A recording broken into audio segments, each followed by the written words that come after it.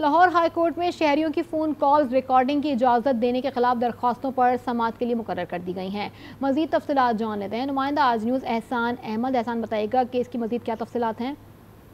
जी, बिल्कुल हसास इदारों की जानब से शहरियों को फ़ोन टैपिंग की इजाज़त के खिलाफ दायर दरख्वास्त लाहौर हाईकोर्ट में समात के लिए मुकर कर दी गई है और लाहौर हाईकोर्ट की chief justice miss Aliya Neelam पर मुश्तमिल तीन रुकनी बेंच जो है वो 10 अक्टूबर का सर इस को इस इस दरख्वास्त पर समाप्त करेगा और इस दरख्वास्त में ये मौके से तैयार किया गया है कि हुकूमत की जानब से हसास इदारों को खून टैप करने की इजाज़त देने का नोटिफिकेशन गैर कानूनी है, लिहाजा इस दरख्वास्त के हतमी फैसले तक इस नोटिफिकेशन को कलदम करार दिया जाए।